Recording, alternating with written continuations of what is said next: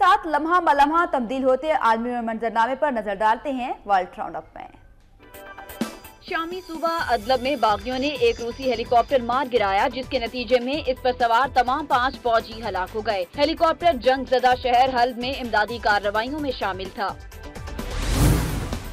افغانستان میں نیٹو اور ملکی فورسز کا دہشت گردوں کے خلاف مشترکہ آپریشن جاری ہے۔ تازہ کارروائیوں میں صوبہ غزنی میں ایک سو بیس عسکریت پسند ہلاک اور درجنوں زخمی ہو گئے۔